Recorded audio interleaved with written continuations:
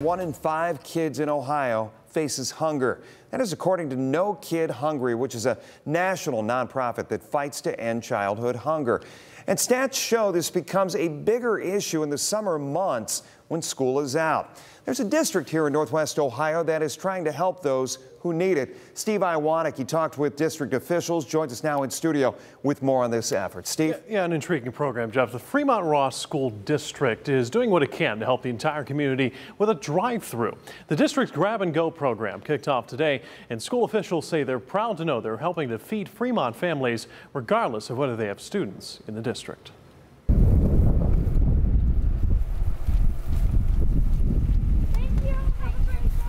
keeping bellies full in Fremont.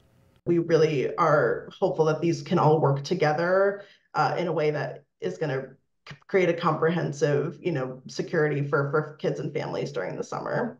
Fremont Ross Schools is using almost $10,000 from the No Kid Hungry program to feed kids. This was day one of the district's Grab and Go program, handing out over 500 bags of food. Each family can get up to five bag meals. So they have five breakfasts and five lunches and then they get um, two and a half gallons of milk. All for free. No ID required. No need to be a Fremont student. Just a need, the need for help. Small children, one, you know, age 1 to 18, so it wouldn't have to be even kids that are in school yet at all. No Kid Hungry shared with WTOL 11 that 61% of rural families say they don't have enough money for meals during the summer. In Fremont, officials shared that 70% of the district faces economic struggles.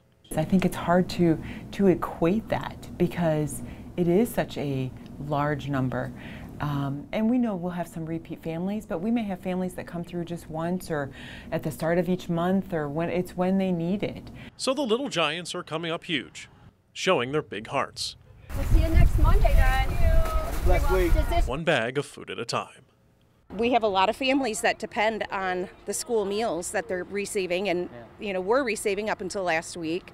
So we need to keep these families fed. I would encourage any family that thinks that any part of this could be helpful um, that we're all in this together and we all have the exact same goal and that is to make sure that our children are not hungry now, the Fremont effort is one of 10 across Ohio getting grants from No Kid Hungry.